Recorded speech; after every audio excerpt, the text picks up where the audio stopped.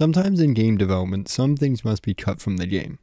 The reason for these cuts varies, but it's something that's integral to the game making process. Today, though, we will be exploring one such cut item from Signalis, this being the machete.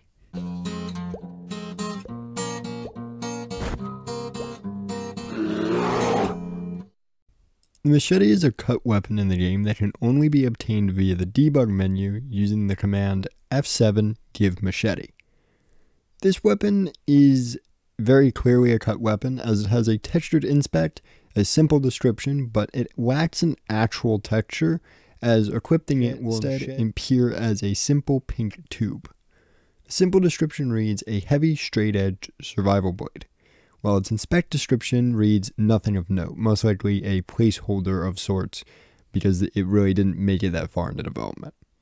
Inspecting the weapon in the inventory shows it is what it says it is. It's a sweet, mostly black machete with a comfortable hilt for Elster to hold on to it with. Using the machete, one will find it does 10 damage in an arc to all enemies that it comes in contact with. This damage ignores armor and will pierce straight through Mynah's armor and Star's shields. However, its range is very limited, only really working as long as the arch can reach, forcing the user to get very close with it in order to make contact, allowing the enemies to easily strike back.